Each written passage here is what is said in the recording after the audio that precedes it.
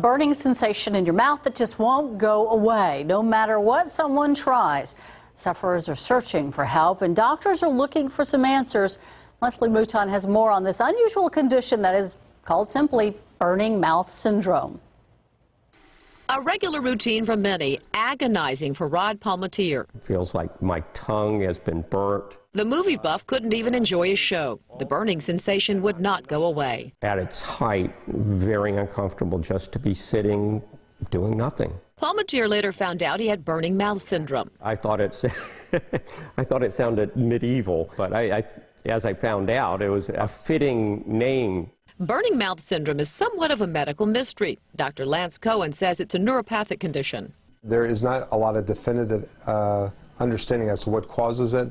What are the best ways to treat it? Dr. Cohen says burning mouth syndrome occurs in about 4% of the U.S. population, in mostly peri and postmenopausal women. But it does also occur in men. Talking uh, could be irritating. Rod finally found relief with a medicine called amitriptyline. In the 60s and 70s, it was used as an antidepressant. After three weeks, his symptoms were gone, and he was weaned off the medication. We try to suppress the nerve from firing and to get the patient some relief. Dr. Cohen says cognitive behavioral therapy is also used to treat the symptoms. Both are working for Rod, who has found a way to keep his cool. Leslie Mouton, KSAT 12 News.